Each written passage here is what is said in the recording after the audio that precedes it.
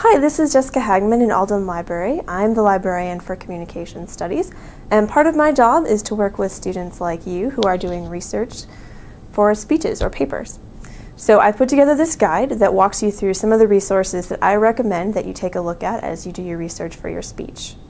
This video walks you through how to use the guide and how to get started with your research. The most important thing to remember is that the guide is not where you would search for resources. Instead, it di directs you to different search websites depending on the type of information you need and your research topic.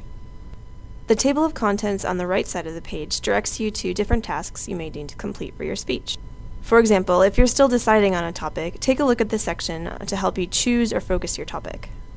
The other pages help you find specific type of types of information resources, such as books or research articles, or provide help on citing sources, writing an annotated bibliography, or direct you on how to get in touch with me with questions. I'm going to look at the page on finding newspaper articles. You'll see that we have text-based tips for finding newspaper articles. You'll also see a big green link to resources where you can find current and historical newspaper articles. For example, to find current articles about the Affordable Care Act, I'd click the box for America's newspapers and do my search there. The database should open in a new window. You'll also see big purple boxes that link you to help videos for these specific tools. If you need to know how to search for articles in America's newspapers, you can click on that first purple link.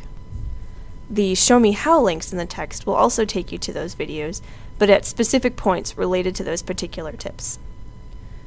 In addition to pages based on type of information source, you can also find recommended resources for particular topic areas like education or sustainability.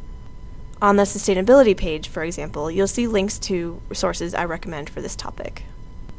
No matter what stage you are in your research, you can always use the Help tab to get in touch with me. It's my job to work with students doing research, and I'd love to hear what you're researching and work together to identify sources. You can find my calendar where you can make an appointment at this purple link.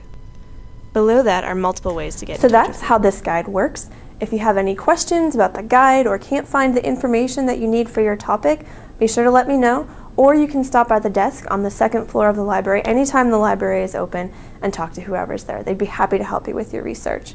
Good luck on your speech!